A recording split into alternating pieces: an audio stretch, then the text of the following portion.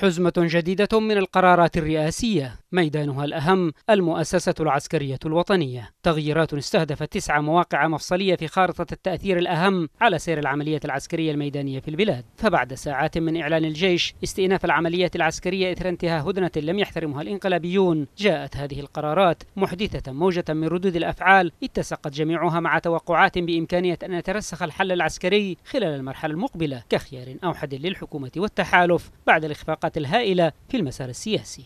هذا المسار الذي يعتبر المراقبون أنه استنفذ مبرراته إثر المبادرات التي جردت الأزمة من أطرافها ومرجعياتها وأعادت تصميم مشهد الحرب في اليمن على أنه مواجهة بين التحالف والإنقلابيين.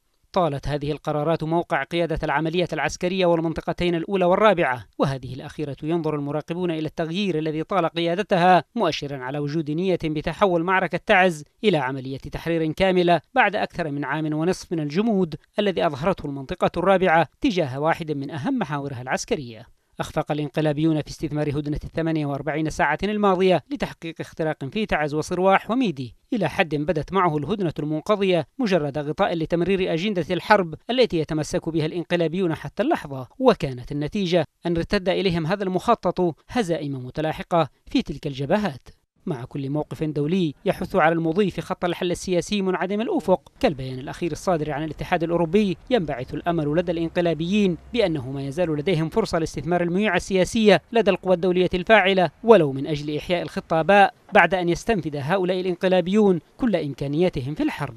لا يزال مشهد الأزمة والحرب في اليمن فضاء لتجاذب الإرادات بين الفاعلين الدوليين والإقليميين لكن يبدو أن التغييرات الرئاسية في المؤسسة العسكرية والتفاعل الإيجابي من جانب التحالف العربي مع التغيرات الميدانية التي تحولت إلى انتصارات كبيرة ضد الإنقلابيين هما من سيحسم هذا الفصل الطويل من العنف متعدد الأبعاد في اليمن.